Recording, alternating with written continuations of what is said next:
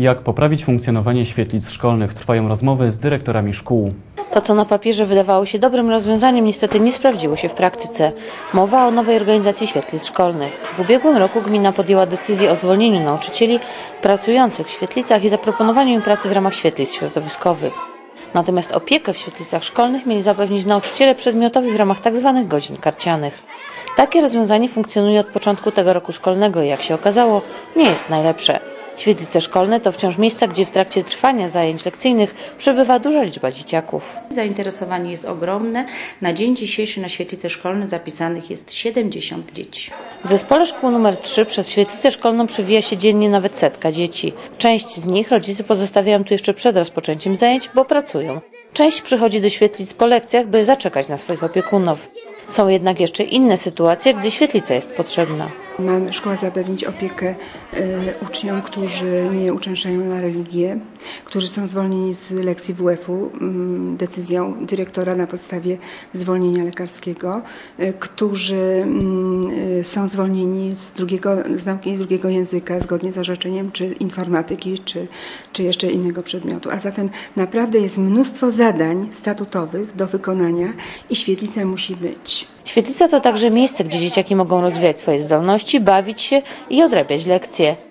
To ostatnie przy obstawieniu godzin świetlicy godzinami karcianymi nauczycieli nie jest proste do realizacji. Nauczyciel, który wchodzi na godzinę bądź dwie godziny, no czasami nie jest w stanie dokończyć tej pracy domowej z dzieckiem i musi to robić inny nauczyciel. Wiadomo, dobrze by było, gdyby to był ten jeden nauczyciel. Zapewnienie opieki na świetlicy poprzez obsadzanie tam nauczycieli w ramach tzw. godzin karcianych powoduje ogromną rotację. Dla przykładu w zespole szkół nr 2 w ciągu tygodnia zajęcia na świetlicy prowadzi 25 nauczycieli.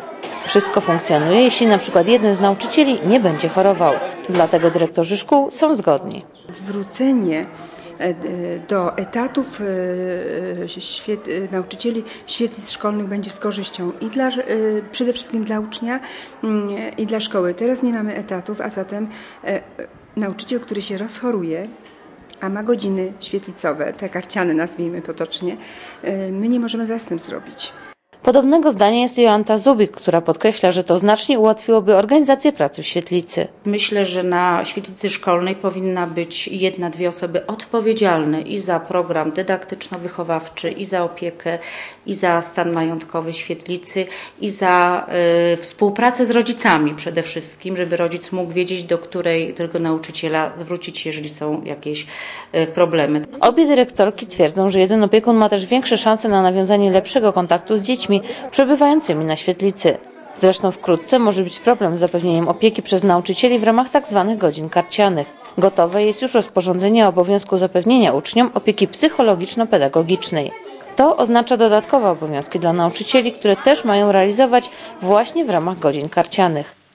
Dlatego dyrektorzy szkół nie wyobrażają sobie, by w szkołach nie pojawiły się etaty dla nauczycieli w świetlicach. W przypadku, kiedy zostałaby sytuacja bez zmian, e, będzie to zadanie być może w niektórych szkołach niewykonalne, ponieważ e, zgodnie z tym nowym rozporządzeniem, które weszło w życie już o pomocy psychologiczno-pedagogicznej, My musimy, e, nauczyciel musi bardzo dużo czasu poświęcić na dokumentowanie pracy, którą w zasadzie się do tej pory robiło w szkołach. Natomiast w tej chwili trzeba będzie dokumentować. W ramach pomocy pedagogiczno-psychologicznej nauczyciele będą pracować z uczniami, którzy mają na przykład dysleksję czy dysgrafię. Musimy zdiagnozować y, każdego ucznia. Może, musimy dla ucznia dysfunkcyjnego założyć tak zwaną kartę indywidualnych potrzeb ucznia i oprócz tego, że prowadzić zajęcia, to jeszcze y, na bieżąco y, uzupełniać, uzupełniać te karty. W niektórych szkołach uczniów z różnego typu problemami, które wymagają dodatkowego wsparcia nauczycieli jest sporo.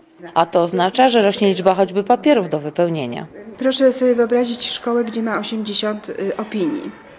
Więc y, do każdego praktycznie zespołu klasowego należy powołać zespół nauczycieli, którzy muszą cały czas czuwać nad pomocą i dokumentować tą, y, to, co robią. Więc y, proszę zwrócić uwagę na dużą szkołę ile będzie trzeba godzin e, z tego artykułu 42 na to, by zrealizować zadanie, które jest bardzo ważnym zadaniem, a tak jak mówię, nauczyciele do tej pory to robili, tylko w tej chwili trzeba jeszcze to udokumentować, tą całą pracę. W tej sytuacji dwie godziny karciane, które mają nauczyciele, to za mało na realizację tych zadań, a co dopiero jeszcze zapewnienie opieki w świetlicy. Sygnały w tej sprawie dotarły już do magistratu, dlatego gdy na ostatniej sesji Rady Miejskiej radni z ramienia PiS poruszyli ten problem, burmistrz zapewnił, że o sprawie wie i od problemu nie ucieka. Rozmowy z dyrektorami szkół w tej sprawie trwają od grudnia. Włodarz miasta przyznaje, że chce pomóc. Chcemy wyjść naprzeciw, chcemy powodować jakąś ilość etatów w poszczególnych szkołach znaczy nie, że po dwa, trzy etaty, bo o takich rzeczach nie ma mowy, yy, pod jakieś dyskusje. Problemem są oczywiście pieniądze, które trzeba będzie znaleźć na pokrycie kosztów utworzenia etatów w szkołach. Kosowski przyznaje, że na pewno nie będzie ich już 20, tak jak to było przed reorganizacją świetlic, ale przynajmniej w dużych zespołach szkół pomyśli o jednym takim etacie. Ile pieniędzy potrzeba będzie na pokrycie tych płac? Za wcześnie, by o tym mówić, bo nie ma jeszcze ustalonych konkretów, przyznaje burmistrz. Nie obliczyliśmy, której szkole ile to ma być, czy trzy czwarte etatu może być, pół etatu w niektórej, może w jednej będzie etat. Chcemy to po prostu zrobić. Dyrektorzy szkół liczą, że mimo trudnego budżetu gminy i zbyt małej w stosunku do potrzeb subwencji oświatowej, uda się jednak znaleźć dobre wyjście z sytuacji. Jestem pewna, że te negocjacje skończą się y, pozytywnie i wypracujemy y, jakieś rozwiązanie, które by satysfakcjonowało i nas, dyrektorów, i władze, władze miasta, ale najważniejsze jest to, że pan burmistrz bardzo przychylnie jest ustosunkowany i rozumie nasz problem. Burmistrz zapowiada, że konkretne propozycje powinny być znane do końca kwietnia, a wtedy etatowi nauczyciele pojawiliby się na świetlicach szkolnych od września przyszłego roku szkolnego.